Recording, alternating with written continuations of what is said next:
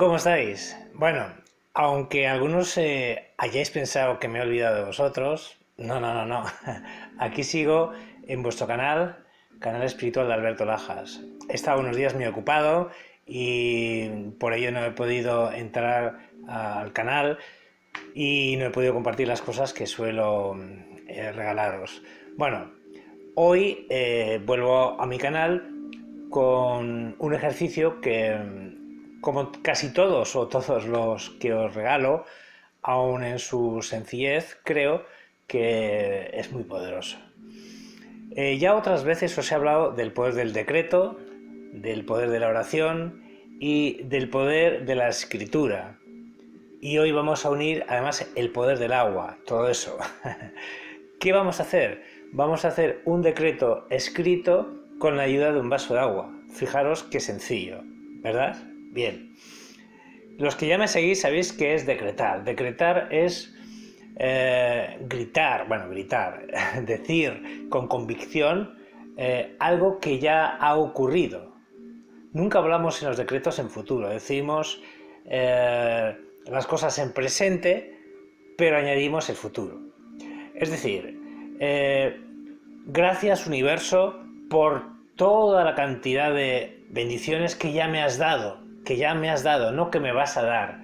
Decretar es afirmar cosas como si ya hubieran ocurrido. Bien, quiero que cojas una hoja en blanco, un bolígrafo y escribas todo aquello que se te ocurra que tú crees que, que cambiaría tu vida, pero ojo, sin que dañe a nadie, sin que haga daño a nadie.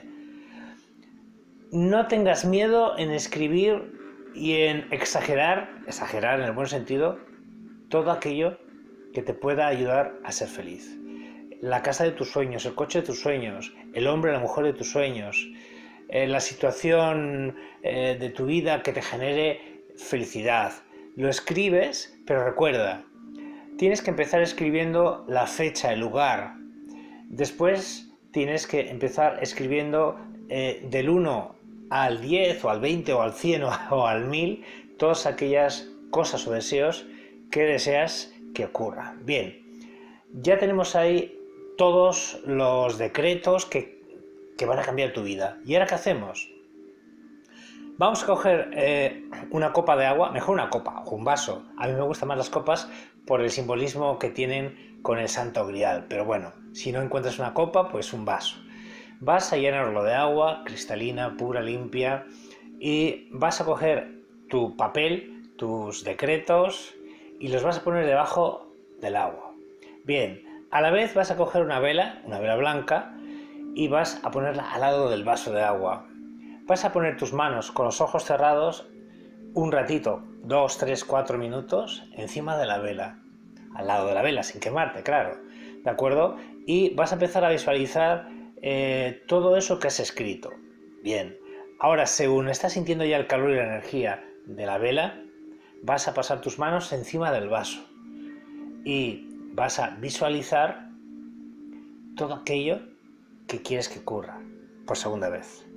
Bien, la vela eh, se consumirá. Estate atenta a la vela, es decir, cuando ya veas que se va a consumir, cuando queda poquito, hay velas, depende del material que esté hecho, que se consumen en dos horas, otras en un día, depende. Por eso digo, eh, si lleva cera virgen, si lleva eh, derivados del petróleo, cuando veas que ya se va a consumir, cuando queda muy poquito de la vela, coges el papel, el papel, lo sacas de, debajo del vaso de agua y lo quemas. Vas a coger esas cenizas y las vas a echar al vaso de agua. Sí, sí, has escuchado bien. Las cenizas al vaso de agua. Y vas a coger el vaso de agua y, si es posible, si fuera posible, río o mar o lago, yo sé que algunos me decís, es que Alberto, es que no vivo cerca de un río, de un lago, de un mar. Bien, si no es posible, pues por eh, el water close.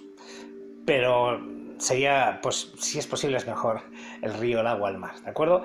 Vais a tirar ese agua con esas cenizas y según lo hagáis, con los ojos cerrados, sintiendo la energía de que esas cosas que habéis pedido van a ocurrir. Bueno, ya veis que sencillo, ¿no?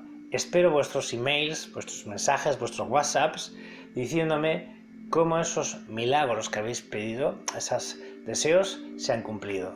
Muchísimas gracias por seguirme y perdonarme cuando no estoy en el canal porque sabéis que yo escribo libros, preparo cursos y hago otras cosas en mi vida que a veces me quitan tiempo para mi canal. Pero no me olvido de vosotros, jamás. Os quiero mucho. Muchísimas gracias y todo mi amor, mi paz desde aquí, desde el norte de España, Bilbao. Namaste.